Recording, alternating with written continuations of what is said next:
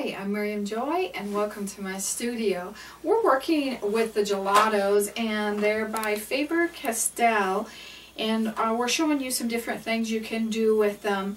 Uh, we showed you how to put them on in one of our videos and now we're going to show you how to use them with stamps. They come with the brush, a, little stamp itself, and then four different colors and you can find them at your um, craft store. And they also have some metallics which I would love to get my hands on but I'm going to show you. I just picked a little stamp and this one I can actually put on with my hands and um, put some pressure onto it. So I'm going to use it today.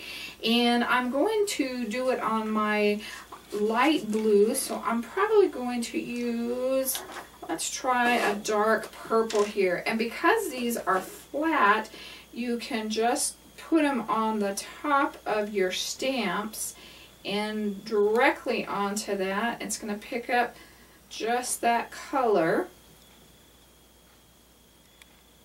And I picked one with a little bit of detail here, hopefully not too much detail. And we're just going to apply that all the way on there till we have that nice and good.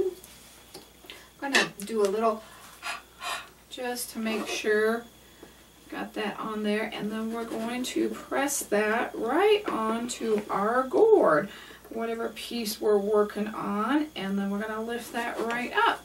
And see we have our little ballerina there and I know that's a little bit of a one to see. I was working on my uh, rose one here and I put it on. My blue was instead of green leaves, but there's all kinds of different little stamps that you could stamp right on top of that as well. And because it's the gel, it has that real nice flat surface. And then when you're done, you just take your water and wipe that right off.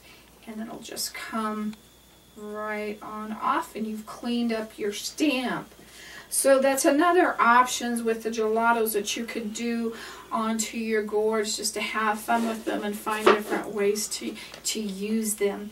So if you have any questions, you please email me at art at miriamjoy.com. Come on over to our website and you can see all the fun things that we have going on there and as well as Pinterest.